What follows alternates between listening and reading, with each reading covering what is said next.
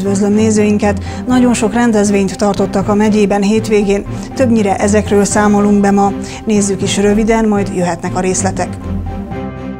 Ezreket mozgatott meg a Feltöltő Keresztény Zenefesztivál idei kiadása a hétvégén. Falunapokat tartottak Újfaluban, kulturális napokat Güdöcön a hétvége folyamán. A székelység értékeit ünnepelték Csíkszeredában és a Somjói nyerekben az Ezer Székely Leány napján.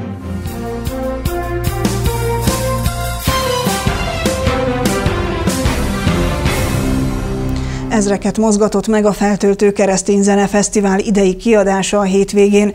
Koncertek, előadások, szórakoztató programok által segítették a lelki megerősödés fele a résztvevőket.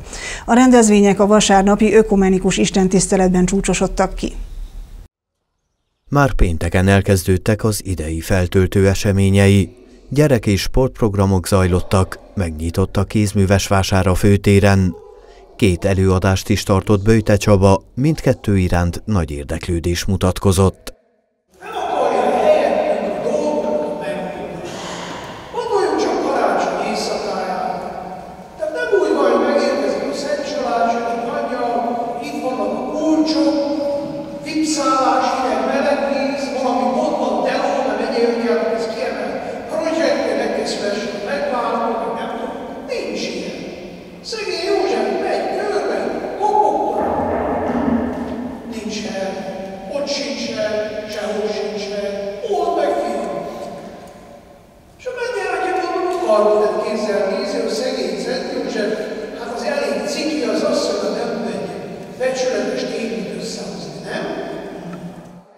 Feltöltő négy napja alatt több előadást is meghallgathattak a résztvevők. Dr. Pécsi Rita, a Bóditesók, Bajcsi Tibor és a Kodácsi házaspár is hasznos tudnivalókra hívta fel a figyelmet.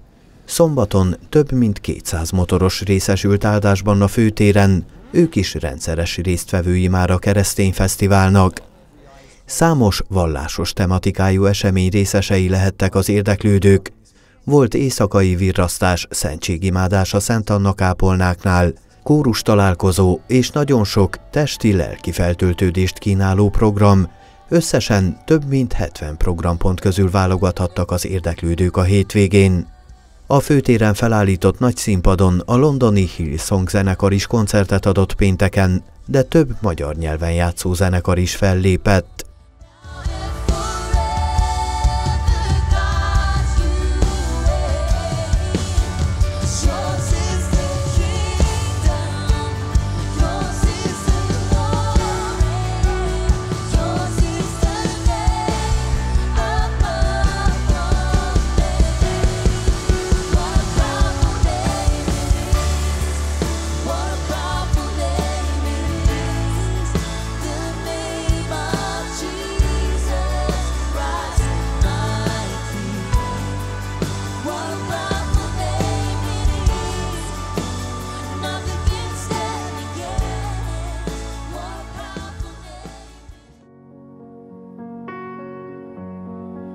Mint egy álom.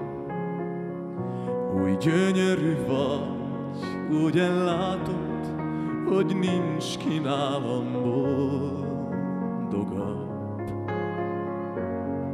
Ez az élet, csak egy van nekem, gyere légy, ki fogja két kezem, és a szív majd újra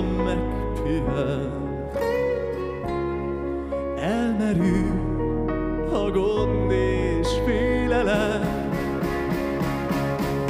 amíg van, kire várnom, végtelen minden álmom, amíg tart ez a dallam, légy velem, minden dalban vágyaim, gyors vizén, mikor útnak te vagy az, kihez visszafordulnék.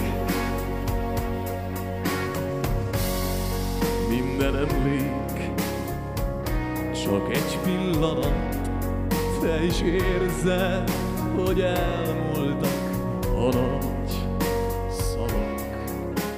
A fesztivál idejére Gyergyó Szent Miklósra látogatott Soltész Miklós, Magyarország egyházi és nemzetiségi kapcsolatokért felelős államtitkára is, több programon is részt vett, elismerően beszélt a rendezvényről. Én azt kérem mindenkitől, arra bíztatnék mindenkit. Mondhatnám azt is, hogy akkor van értelme a következő és sok-sok más feltöltőnek itt Gyergyó Szent Miklóson, hogyha az a sok kapcsolat, az a sok találkozás, és ez a sok élmény, amit akár a zenén keresztül, dicsőítésen keresztül kaptunk, akár a sátrakba, fantasztikus embereken keresztül, akár a segítőkön keresztül, szervezőkön keresztül, hogyha ezt mindenki ki-ki a maga közösségébe, de nem csak oda, hanem szerte a világba elviszi. Nekünk is feladatunk van. Mindenkinek feladata van. A legkisebbtől egészen az aggastyánig bezárólag. Kérek mindenkit, ez a feltöltő, valóban feltöltő legyen nekünk lelkileg, de utána pedig erőt adjon abban, hogy az evangéliumot hirdessük. Vasárnap ökumenikus istentiszteletre került sor, melyen minden vallási felekezet képviseltette magát. Az istentisztelet előtt a Gyergyó Szent Miklósi Glóri zenekar adott dicsőítő koncertet, ők az istentisztelet során is vállalták a zenei szolgálatot.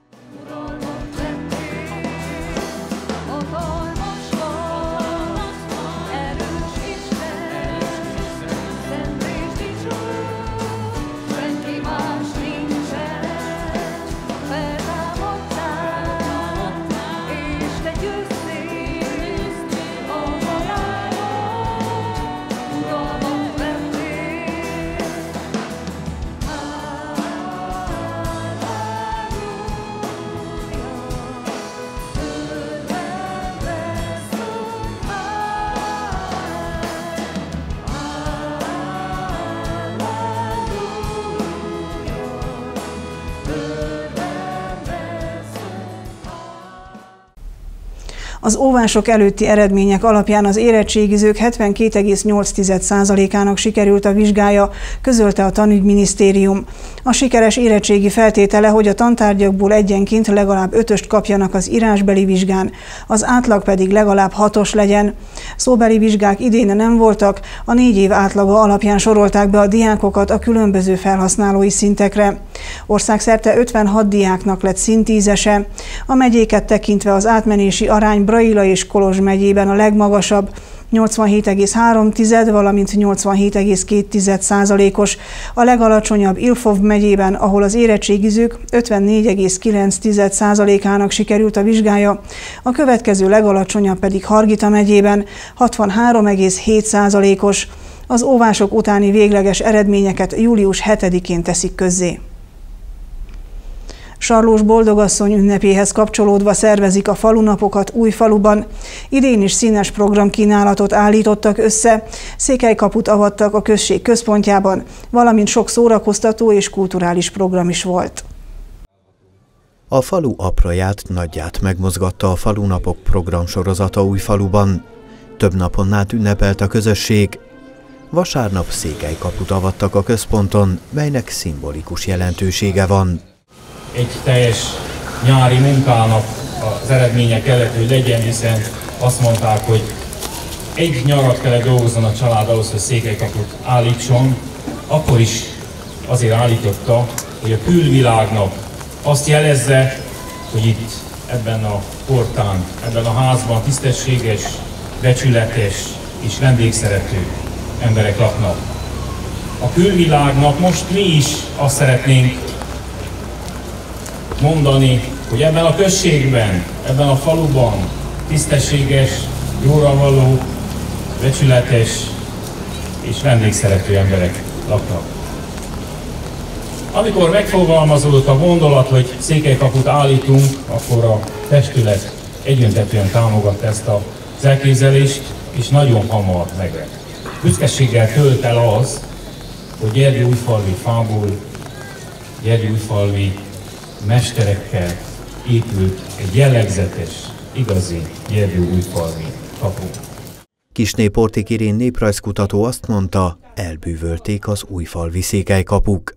Ha valóban ünnep egy székelykapu számunkra, akkor meg kell barátkozni azzal a gondolattal, hogy vissza kell állítani őket, és nincs a medencében még egy olyan település, de mehetünk tovább is a medencéből, ahol néprajzi szempontból két olyan csodálatos, aprólékos munka megtekinthető lenne, mint Gergő újfaluban a kapu és a viselet.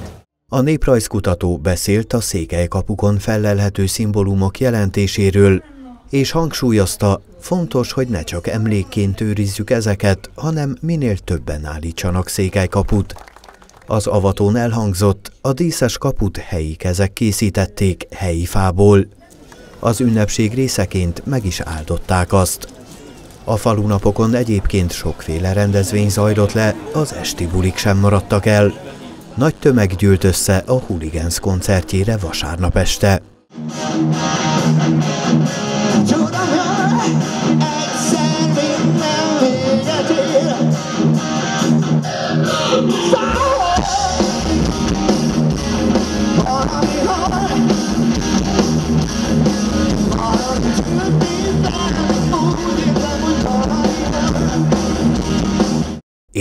Élményeket nyújtó, sikeres falunapokat tudhat maga mögött új falu. A Güdüci kulturális napokat is a hétvégén tartották meg. Három napon át ünnepeltek a helyiek, valamint velük együtt a Güdücre érkezett vendégek. Évről évre megszervezik a Szárhegyhez tartozó Güdücön a kulturális napokat. A falu ünnepén a sport, a kultúra, a gasztronómia és a szórakozás is helyet kapott idén is. A programok sorában nagy jelentőséggel bírt a házi alapanyagokból készült ételek főzőversenye, melyre közel 20 csapat nevezett be. Finomabbnál finomabb ételek készültek a bográcsokban, s miközben a csapatok főztek, a hangulatról a zenészek gondoskodtak. Az elkészült ételekből a hozzáértő zsűri asztalára került egy-egy adag. A három nap alatt nem maradtak el a kísérő programok és a kézműves vásár sem vasárnap pedig megtartották a búcsús szentmisét. Romániában a lakosság több mint 13%-ának nem ismerik a nemzetiségét, derült ki a tavalyi népszámlálás pénteken közzétett végeredményéből. Az Országos Statisztikai Intézet szerint Románia állandó lakossága 2021. december 1-én 19 millió 53 815 volt, ebből 1 millió 2151 vallotta magát magyarnak. A romániai cenzuson alig több mint 16,5 millió lakos nemzetiségét jegyezték fel. Ehhez a számhoz képest a magyarság részaránya 6,5 százalék, csak nem fél százalékponttal kevesebb, mint a 10 éve regisztrált 6,5 százalék. Abszolút értékben az összeírt romániai magyarok száma egy évtized alatt 225 ezerrel csökkent. A székely népviseletet, népzenét, néptáncot, hagyományainkat ünnepelték szombaton előbb Csíkszeredában, majd a Somjói nyerekben az Ezer Székely Leány napján. Több ezren öltöttek székely népviseletet ebben az évben is, akik egész napos programon vettek részt az ünnepség helyszínein. Leányok és asszonyok, legények és férfiak viseletétől volt színes és élettel teli újra Csíkszered a főtere július első szombatján az Ezer Székely Leány napján.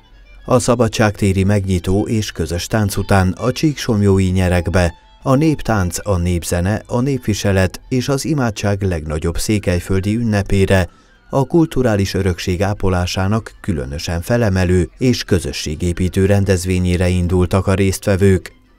Az ünnepség örökös házigazdája Csíkszereda és Csíksomjó, s idén a tiszteletbeli házigazda szerepét is betöltötte a megyeszékhely. Nem a ruha teszi az embert, de nem mindegy, hogy ki mit vesz fel. Így van ez a népviselettel is.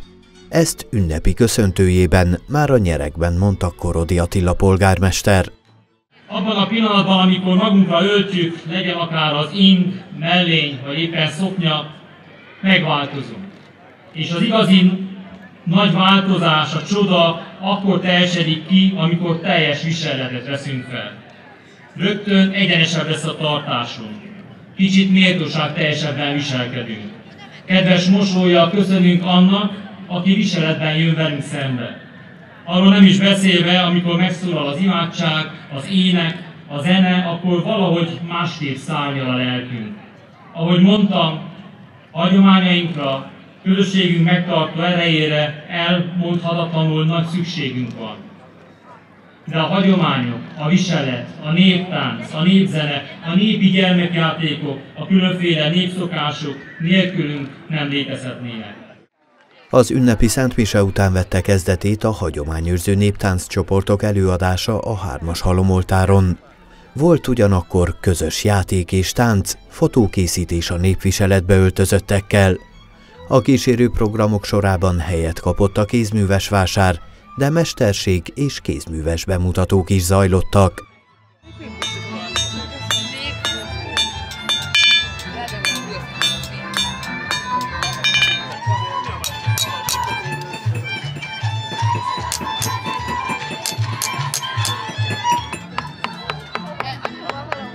Aztán még át tudod is szólni? Így természetesen igen, még finomítunk sokat, tehát ez csak ilyen félkész, ami itt lent megvan. Tehát azt a, nagyon sokat még dolgozom rajta. A gyermekek ügyességi játékokban próbálhatták ki magukat, és a rendezvény végéig folytatódott a hagyományőrző néptánc csoportok előadása. Ezekből válogattunk egy csokorra valót.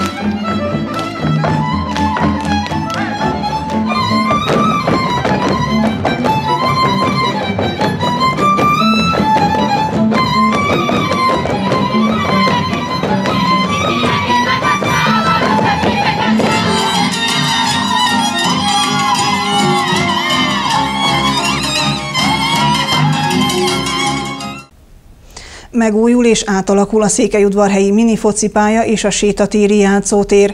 A fejlesztés Európai Uniós forrásból valósul meg, mától kapta meg a terepet a kivitelező. Július 3-ától kapta meg a munkavégzési parancsot a két teret átalakító szakcég, akiknek öt hónapjuk van a munkálatok befejezésére. Ezek szerint ősz végére készülhetnek el a megújult közterek. A munka megszervezése, a vele való egyeztetés követően az úgy fog kinézni, hogy elsőként a minifocipályán kezdenek, időközben meg kell érkezzenek a már megrendelt új játszótéri elemek, és ahogy azok megérkeznek, akkor zárják majd a játszóteret, és kezdik a régi játékelemeknek a kiszedését, és az újaknak a behelyezését az elkészített műszaki terv szerint.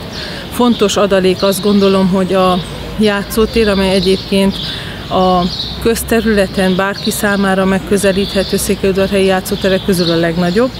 Ez még egy szinte ugyanekkora felülettel fog bővülni, és nem csak a felület fog bővülni, hanem a játékelemek száma is, és a tervek szerint nem csak számban fognak a, a játékelemek bővülni, hanem a megcélzott korosztály is ki fog szélesedni, tehát még jelenleg a kisgyerekek, kisiskolások számára érdekesek ezek a játékok, ez ki fog bővülni tiniknek való játékelemekkel is. A minifoci pályának a szerepe vagy a, a használati módja nem fog változni, ugyanúgy városi nagy rendezvényeket fog kiszolgálni, vásárokat, egyéb előadásokat, akár a színház vagy a táncműhely számára, vagy egyéb más produkciók számára, és ö, sportolási lehetőséget is fog biztosítani. A felületen ö, teniszezni, kosarazni, lábteniszezni lehet majd, tehát ilyen festések lesznek majd a pályán, lesz mászófal, és tartozik a felújítás során majd a pályához lelátó, illetve egy olyan mobil elemekből összeépíthető színpad, amely adott esetben az igények szerint vásári asztalokká is alakítható, vagy egyéb elemekké, úgyhogy én azt gondolom, hogy egy multifunkcionális, modern 21. századi teret fog majd kapni ősszel a város. Én azt gondolom, hogy egy a város legjobban látogatott játszóterének a bezárása bármelyik évszakban felháborodást, vagy egyesekben mondjuk egy ilyen indulatot vált ki, hát télen nem lehet kültéri munkálatokat végezni, tehát itt elég korlátozott a lehetőség tavasztól őszig. Na most tavasszal sem lett volna sokkal jobb a fogadtatása, mert akkor ugye azt mondják, hogy na végre ki lehet menni, miért pont most? Össze, hát még, még éppen ki lehet jönni, akkor miért pont most? Én azt gondolom, hogy nagyon fontos lépés az a pályázat kapcsán, hogy kaptunk kivitelezőt, ugye nagyon hosszas volt a közbeszerzési folyamat, óvások voltak, megvan a szerződés, határidőn belül vagyunk, én azt gondolom, hogy a pohárnak a teli részét kell nézni, azt, hogy elkészül és biztosan meg lesz, hiszen öt hónap áll a kivitelezőnek a rendelkezésére, és nézzük azt, hogy ennél egy sokkal jobb, sokkal gyermekbarátabb, sokkal inkább mai teret fognak kapni, nem csak a szülők, hanem a gyerekek is, és hát nyilván azok is, akik mondjuk akár majd turistaként ide látogatnak a városba. A megújult minifocipálya ezután is szabadon látogatható lesz, a bejáratnál egy kutyakenelt is elhelyeznek, ahol a kedvencek biztonságban várhatják sportoló gazdáikat. Tilos csomagokkal lemenni a Szent Anna tópartjára, hívta fel a figyelmet a Pro Szent Anna Egyesület. Azokat a személyeket, akik így módon szeretnének a tóhoz látogatni, fel fogják szólítani, hogy a csomagokat hagyják az autóban. Az intézkedésre azért van szükség, mert többször előfordult, hogy a turisták szándékosan ennivalót hagytak a tóparton, hogy oda csalogassák a medvéket. A területet kezelő Proszent Anna Egyesület emlékeztet, hogy a kráterek területén a piknikezésre kijelölt egyedüli terület, a parkoló nyugati részén található padokkal és asztalokkal ellátott zöld felület, ahol igény szerint tüzet is lehet rakni. Sikeres volt a személygyűjtési akció, amit a Benedek húsüzem szervezett az elmúlt szombaton. A takarítás során a vállalat dolgozói és az önkéntesek közel 500 zsák szemetet gyűjtöttek össze. Szép számban vettek részt önkéntesek, kicsiktől nagyokig a szombati személygyűjtési akción, amit a Benedek húsüzem szervezett. A kalálka során ezúttal a gyilkostó felé vezető út mentén takarították a felgyülemlett hulladékot.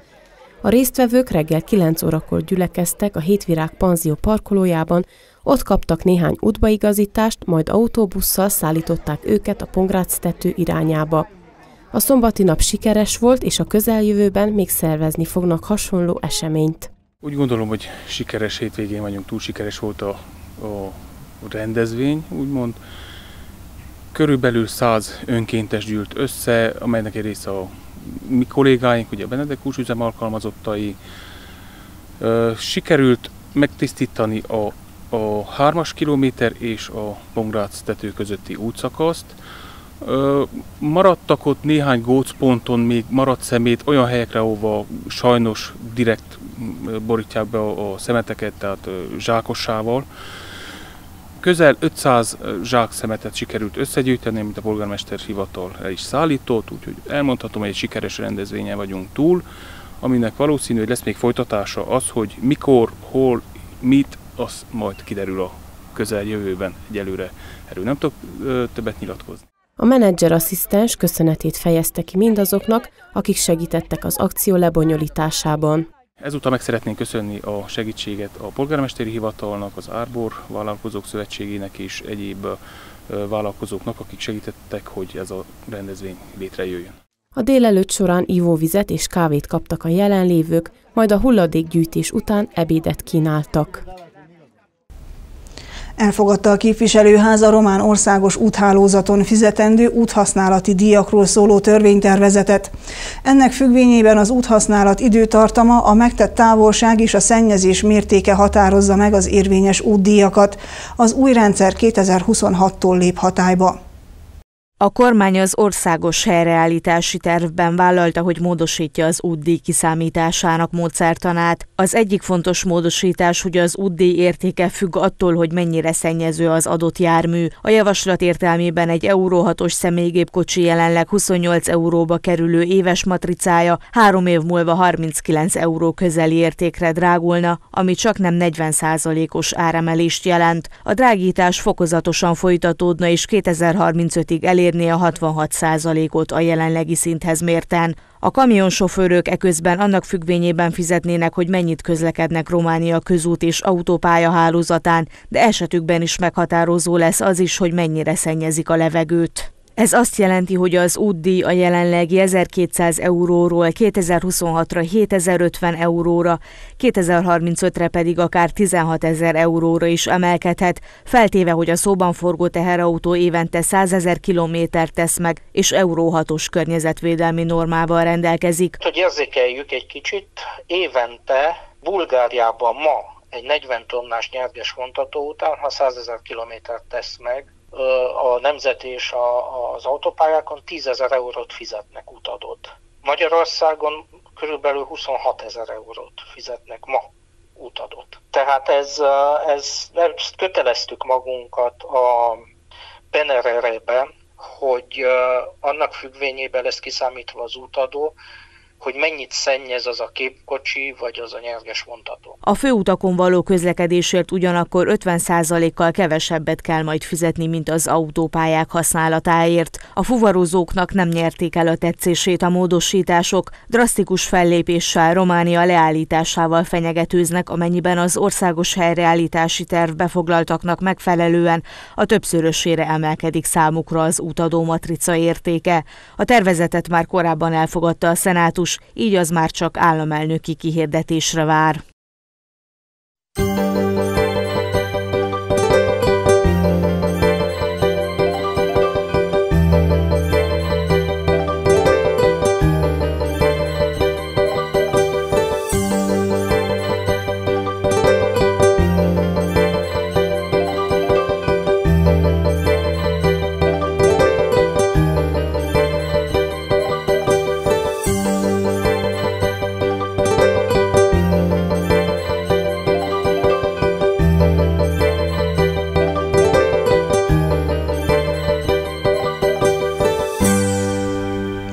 Most pedig nézzük a nap fontosabb témáit még egyszer röviden.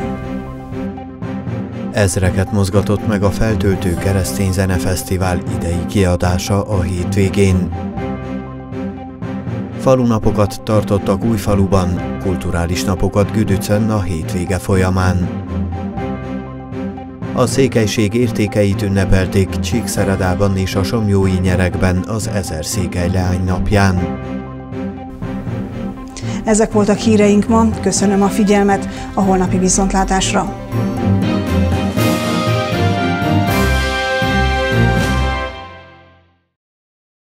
Műsorunk támogatója a Diego Áruház.